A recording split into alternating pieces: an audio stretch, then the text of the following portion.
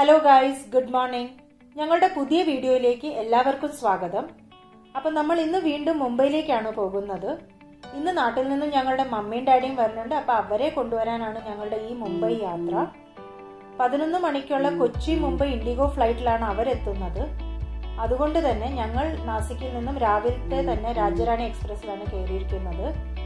ഈ ട്രെയിൻ പത്ത് മണിയോടുകൂടി മുംബൈയിലെത്തും. പിന്നെ അവിടുന്ന് ടാക്സി പിടിച്ച് എയർപോർട്ടിൽ പോകാനാണ് ഞങ്ങളുടെ പ്ലാൻ.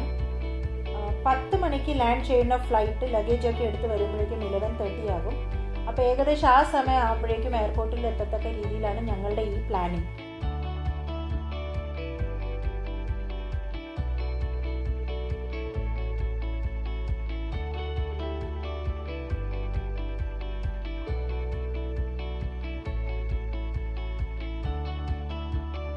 നമ്മുടെ ട്രെയിൻ ഇപ്പോൾ കസാര സ്റ്റേഷനിലെത്തി നാസിക് മുതൽ കസാര വരെ നമുക്ക് വീഡിയോസ് ഒന്നും എടുക്കാൻ കഴിഞ്ഞില്ല. നല്ല തണുപ്പ് കാരണം വിൻഡോസ് ഒന്നും തുറന്നിട്ടില്ലായിരുന്നു.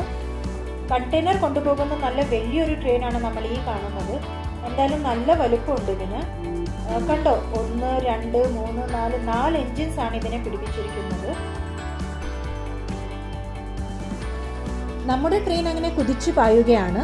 നാസിക് വിട്ടാൽ പിന്നെ ഇഗത്പുരി സ്റ്റേഷൻ പിന്നെ കസാര സ്റ്റേഷൻ ഈ രണ്ട് സ്റ്റേഷനുകളിൽ മാത്രമാണ് എക്സ്പ്രസ് ട്രെയിനുകൾക്ക് സ്റ്റോപ്പേജ് ഉള്ളത്.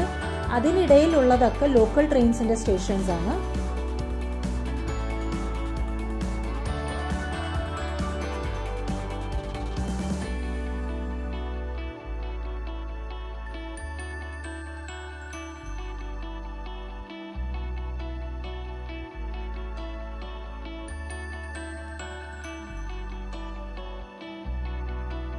ഇത് അടുത്ത ലോക്കൽ ട്രെയിൻ സ്റ്റേഷനാണ് ഏതായാലും എങ്ങും നിർത്താതെ പറന്നുകൊണ്ടിരിക്കുകയാണ് നമ്മുടെ ട്രെയിൻ പുഴകളും തോടുകളും കൃഷിസ്ഥലങ്ങളും മലകളും കുന്നുകളും ഒക്കെ താണ്ടി വേണം കല്യാൺ എത്താൻ ഏകദേശം രണ്ടര മണിക്കൂർ വേണം നാസിക്കിൽ നിന്നും കല്യാൺ എത്തിച്ചേരാൻ അവിടുന്ന് പിന്നെ ഒരു മണിക്കൂർ മുംബൈ.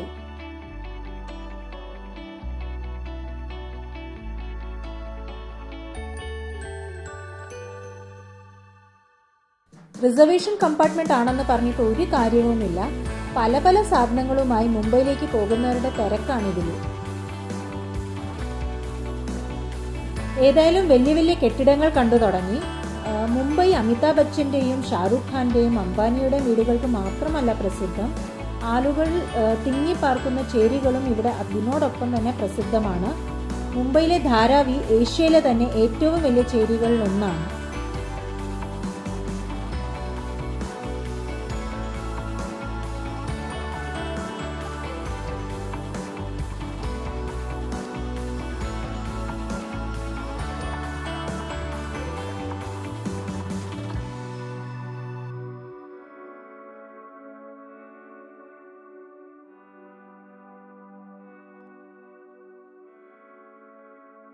അങ്ങനെ നമ്മൾ കല്യാൺ സ്റ്റേഷൻ എത്തിയിരിക്കുകയാണ്. കല്യാൺ ജംഗ്ഷൻ റെയിൽവേ സ്റ്റേഷൻ മുംബൈയിലെ തന്നെ വളരെ പ്രധാനപ്പെട്ട സ്റ്റേഷനുകളിൽ ഒന്നാണ്. എട്ടോളം പ്ലാറ്റ്ഫോംസ് ആണ് ഇവിടെ ഉള്ളത്. അതിൽ നാല് പ്ലാറ്റ്ഫോംസ് ലോക്കൽ ട്രെയിനുകൾക്ക് വേണ്ടി മാത്രമാണ്. കല്യാൺ എന്നത് മുംബൈയിൽ ജോലി ചെയ്യുന്ന മിഡിൽ ക്ലാസ് ഫാമിലിയുടെ ഒരു റെസിഡൻഷ്യൽ ഏരിയകളിൽ ഒന്നാണ്. ഒരുപാട് മലയാളികളുണ്ട് ഇവിടെ. കമ്പാരിറ്റീവ്ലി ചെലവ് കുറഞ്ഞ ഒരു മുംബൈ സബർബൻ സ്ഥലം എന്നാണ് ഇതിന്റെ ഒരു പ്രത്യേകത.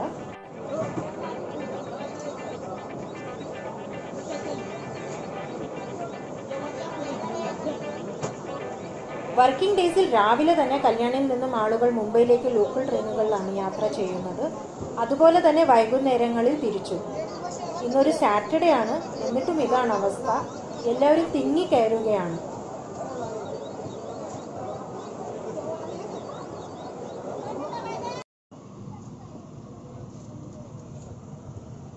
കിടന്നുറങ്ങിയിരുന്ന നിവാൻ പോലും ചാടി എണീറ്റിരുന്നു. ഏതായാലും അവനും ഒരു മുംബൈക്കറായി മാറിയിരിക്കുന്നു. നമ്മുടെ റിസർവേഷൻ സീറ്റിലാണ് ഇവരൊക്കെ ഇരിക്കുന്നത്.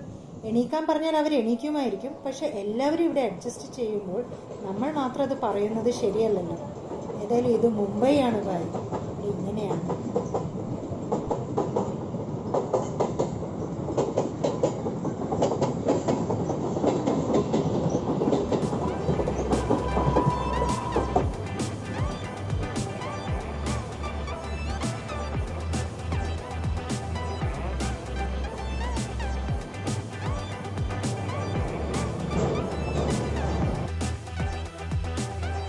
ആലുവയിലെ മാർത്താണ്ഡവർമ്മ പാലം പോലെയുള്ള ഈ പാലം കടന്നാൽ നമ്മൾ ധാനെ സ്റ്റേഷനിലെത്തും.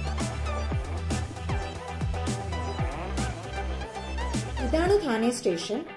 സാറ്റർഡേ ആയത് കാരണം തിരക്ക് വളരെ കുറവാണ്. ഇവിടെയും ഒരു ഫൈവ് മിനിറ്റ്സ് വണ്ടി നിർത്തും. അഞ്ച് മിനിറ്റിന്റെ സ്റ്റോപ്പിന് ശേഷം നമ്മൾ വീണ്ടും യാത്ര തുടരുകയാണ്.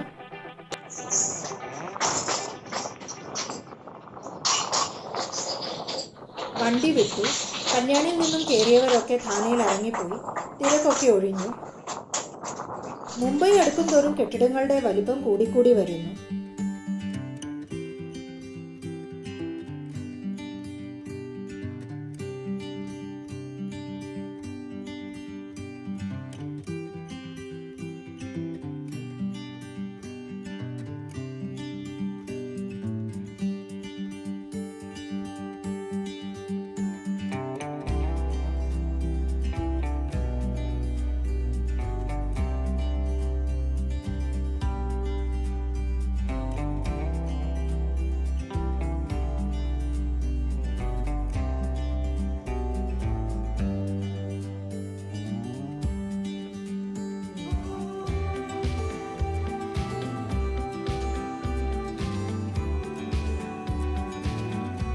മുംബൈ റെയിൽവേ ട്രാക്കിന് അരികിലെ പച്ചക്കറി കൃഷിയാണ്. അങ്ങനെ നമ്മുടെ ട്രെയിൻ ഇപ്പോൾ ദാദർ റെയിൽവേ സ്റ്റേഷനിലെത്തി. പക്ഷേ ഈ സ്റ്റേഷനിൽ ഈ ട്രെയിനിന് സ്റ്റോപ്പേജ് ഇല്ല.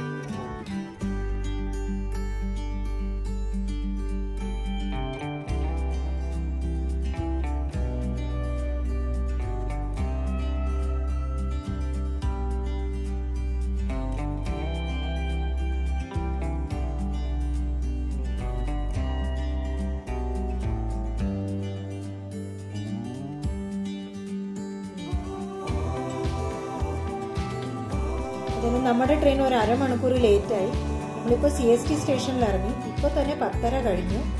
എത്രയും വേഗം ഒരു ടാക്സി പിടിച്ച് എയർപോർട്ടിലേക്ക് പോവുകയാണ്.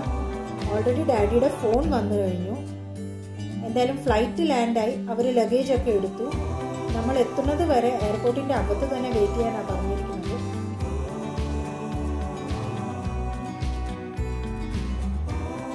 എന്തായാലും നമ്മളും ഡൊമസ്റ്റിക് എയർപോർട്ട് അറൈവലിലെത്തി അരമണിക്കൂർ ലേറ്റ് ആയിപ്പോയി ഡാഡിയും മമ്മിയും എത്തിയിട്ടുണ്ട്. അപ്പോൾ ഈ വീഡിയോ നമ്മൾ ഇവിടെ വെച്ച് നിർത്തുന്നു. ഇന്ത്യയുടെ മഹാനഗര കാഴ്ചകളുമായി അടുത്ത വീഡിയോയിൽ കാണാം. ബൈ.